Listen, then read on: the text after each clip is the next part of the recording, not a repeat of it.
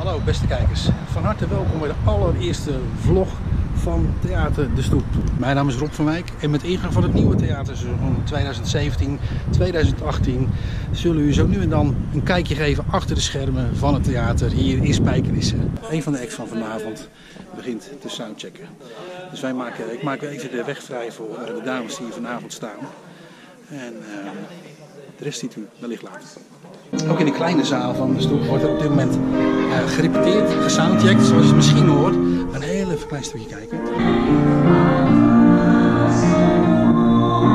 En we gaan even op zoek naar de presentatrice van vanavond. En even kijken of zij uh, beschikbaar is. Hey, zijn niet aangekleed. Hallo. Dit is Debbie, dit is de presentatrice van vanavond. Zo, er wordt nu uh, geprobeerd iets van te maken. Ja, dat gaat lukken. En dat is Ramon. Dus kijk je backstage. We staan hier nu backstage bij Jim. En tada! Dat is hij. De nieuwe brochure voor het theaterseizoen 2017-2018.